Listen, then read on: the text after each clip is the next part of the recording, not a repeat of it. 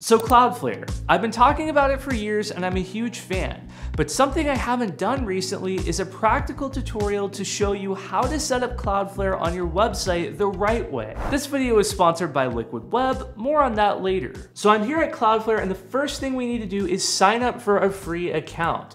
Once you get your account, websites are billed on a per website basis, but they do have a free plan, which is great, and you can have as many free websites as you'd like within Cloudflare. Now that I've created my account, I'm just going to go add a site in the top bar right here, and I'm going to start with my domain name. Now here's where we pick a plan, and as you can see, there's a free plan right here. We just click get started, that is what we want.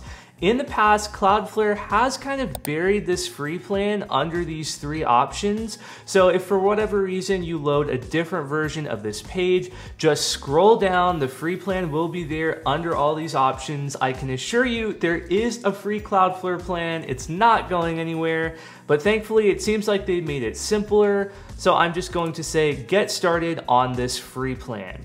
At this point, what Cloudflare is doing is scanning the DNS records of our domain name. So if you are migrating to Cloudflare from an existing website, so your site's already set up, it's going to find all the DNS records that you need, and you'll likely be able to just move on to the next step. But if you're setting up Cloudflare from scratch, meaning this is the first time that you're using your domain name, or this is the first time you're setting up your website, this is the screen where you need to enter your IP address. But as far as getting your IP address for your server, you can get that from your host. If you don't see it in your panel anywhere, just reach out to your host support and they can help you out. It looks like Cloudflare is finished up scanning the DNS records and it's pulled everything in automatically. So I'm just going to click continue.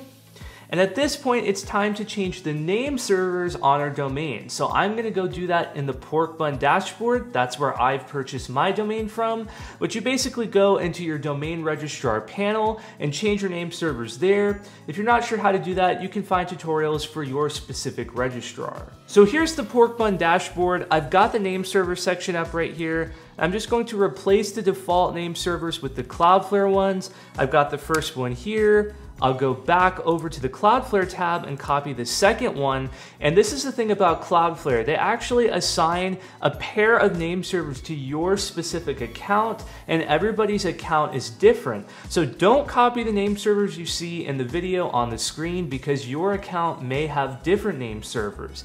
But once you have created an account and name servers are assigned to it, you get to use the same name servers for every website within your account.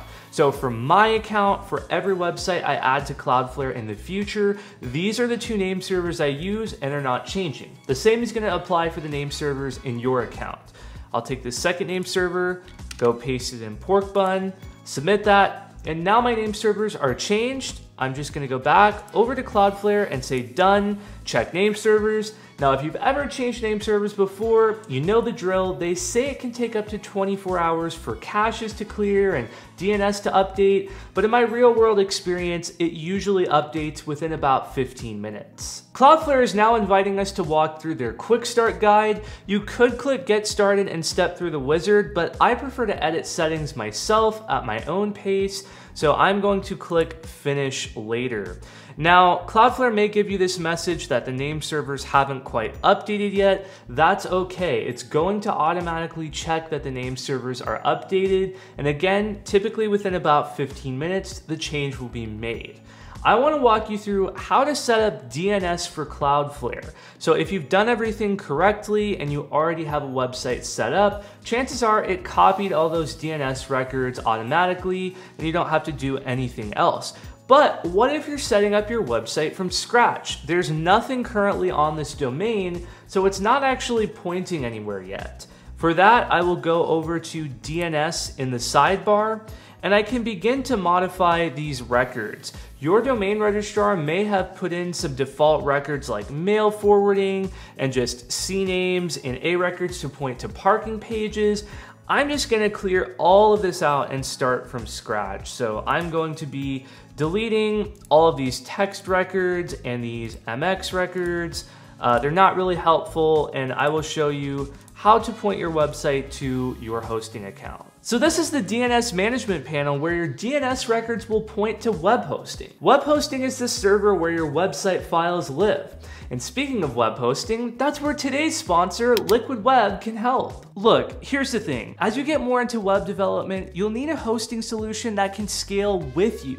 That's when it's nice to have a hosting option like a VPS. Liquid Web offers VPS solutions starting at $15 a month. Their virtual private servers offer 10 terabytes of bandwidth, automatic backups with Acronis, and complimentary access to cPanel, Plesk, or InterWorx. A VPS is an excellent solution for websites with growing traffic or freelancers who need to host multiple websites for a fraction of the cost of conventional hosting. If you're an agency or a developer, you could use a Liquid Web VPS to resell hosting to your clients, and your VPS will be highly scalable. Liquid Web's VPS was super simple to set up. And with three management panels to pick from, you can configure your server to be exactly how you want. To get your VPS for just $15 a month, go to the link in the description below. Thanks to Liquid Web for sponsoring today's video, and now let's continue setting up Cloudflare. So I'm back in the DNS management panel, and I'm gonna show you how to add a basic DNS setup for your website. I'm gonna be using one of my Liquid Web VPS IP addresses to do this. I'm going to add a record and we have a record already selected. Now, when you're setting up your website, you want to type at in the name field to point to your root domain. So right here, we see our domain name. If I type something like website, that actually creates a subdomain, website.yourdomain.com. I want my website to just be mydomain.com, so I'm going to type at, and then that puts it on our domain name. For your IP address, you're gonna wanna get this from your web hosting panel. Since I am using my Liquid Web VPS, I'm going to go over to my Liquid Web server and just copy my primary IP address go back to Cloudflare and paste that in.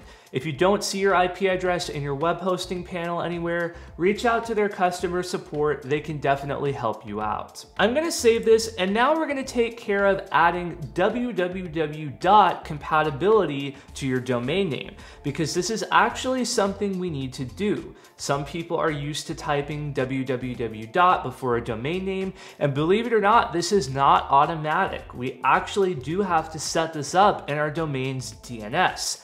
It's very simple though. I'm gonna add a record and instead of an A record, this time I'm going to select CNAME in the dropdown.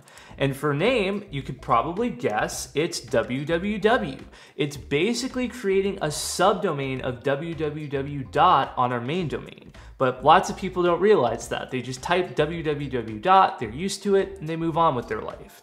So for target, we're simply going to type cftutorial.online and for context, you type your domain here, your main domain, and this almost acts like a giant redirect. It's going to route people who type www dot back to your main domain so they can view your website. Now that we have our DNS pointed to our website, we wanna make sure that we're using SSL. An SSL certificate has become standard on websites. Google search, for example, will actually rank your website higher if you have an SSL certificate. And browsers like Google Chrome will say not secure on your domain if you're not using SSL. So it's definitely something that's a requirement, but the good thing is you don't have to pay for it. And that's one of the benefits of using Cloudflare. I'm in the SSL panel here, and by default, SSL is actually enabled, but I wanted to walk through what these options mean because it's important to understand it so you can be fully aware of what type of SSL is on your website and pick the best option for you. So obviously we could just turn SSL off and that's not such a good idea because then you're gonna get that not secure warning in browsers and your website is not encrypted. The basic version of SSL that we could do is flexible. What this means is you're still gonna see the lock icon in your browser, but it's sort of like a fake SSL. The connection between Cloudflare and the user browser is encrypted, so you will get that lock icon in the browser, but the connection from the Cloudflare server to your web server is not encrypted. So you could do this if you're like a blog or just a basic website where you're not collecting credit card info and you're not an e-commerce store, but in general, I would at least recommend full. What full does is require an SSL certificate to be installed on the web server. Sometimes this creates an extra step with your web host to have to set up, but all web hosting has what's called a self-signed certificate installed by default. In other words, everybody should be able to use this full option without a problem. I think that's why Cloudflare enables it by default. Now, if you really want to step up your security to the highest level, you can use what's called full strict. And what this does is say you actually need a trusted SSL certificate installed on your web hosting account. You cannot use one of those self-signed certificates that your web host will automatically generate. So if you choose to use full strict, you either will have to get an SSL certificate from somewhere and install it on your web server, or you can actually go over to this origin server option and Cloudflare can generate a trusted certificate right here from within the panel for free that you can then take and install on your web server. One of the other benefits of Cloudflare is having fast, reliable redirects. If you've ever purchased a domain name and used your domain registrar's redirect setting that they have, where you can just type your domain name, you know that sometimes those can be so slow. If you just have an old domain you want to forward to a new domain or whatever the scenario is, Cloudflare can help you do that and it's a lightning fast redirect. On the page rules screen here, you can say create page rule and you can actually pick forwarding, forwarding URL. There's two types of redirects. There is permanent and temporary. And this is just situational. If you're forwarding an old domain to a new domain, that old domain is being phased out, you can select this permanent option. But if, for example, you're using this like a URL shortener and you're gonna be changing where the link redirects to regularly, then you might wanna use temporary. I'll just say permanent and I'll enter my destination URL I can also put which URL I want to redirect. If I want everything to redirect, I can do slash and put the asterisk. And that's just gonna make sure that if someone types mydomain.com slash ABC, no matter what they type, it's going to redirect, or I could specify a specific URL to do the redirect. Now that we have Cloudflare all set up, I want to share a few pro tips with you that will help you maximize Cloudflare and use it to its full potential. First, there's some things you need to be aware of in the way of caching. When you are actively working on your website, you're making a lot of changes, it's under development, on this overview screen, I highly recommend checking this development mode switch and enabling it what this is going to do is temporarily bypass the Cloudflare proxy or CDN, so that way as you develop your website, stuff is not getting cached and you're not running into problems thinking you've updated your code or you've updated your page builder and you're not seeing the changes. That's very helpful for web development. The other thing you can do is if you're not actively developing your website, but maybe you just make a simple change and for whatever reason you're not seeing it live, you can go over to caching in the sidebar and go to configuration. And where it says purge cache, just click purge everything. This is going to completely flush the Cloudflare cache so that way you can see the changes reflect on your website. I have had to do this before, so don't forget if you have Cloudflare enabled on your website and you make a change and you're not seeing it, go ahead and purge that cache. You also may want to take advantage of Cloudflare's new email routing feature. It's currently in beta and it's a very high quality email forwarding service. So just like I was talking about earlier with the page rules and being lightning fast for forwarding a URL, Cloudflare also lets you forward email for free. So I could have Christian at cftutorial.online forward to my Gmail address or any email address I'd like. To get started with this, you can click here, enter your email address, enter the destination address, and then say create and continue, and Cloudflare is gonna automatically add the MX records to your DNS. Now you may be saying, Christian, what if I have email hosting elsewhere? What if instead of forwarding an email address, I wanna be able to use Google Workspace or Microsoft Outlook hosting? What should I do? It's really simple. You just go back to DNS, and your email host is going to give you the MX records that you need to enter. They may also give you some TXT records. You can just go click add record and select MX or TXT from the list. You can also type in this dropdown to make it easier to find the record type. So right here, we can add an MX record. I can add a TXT record, and I can basically add everything that my email host tells me needs to be in the DNS. Then I'll be able to send and receive email with my hosting. So that's how to set up your website with Cloudflare. If you have any questions, be sure to drop a comment down below.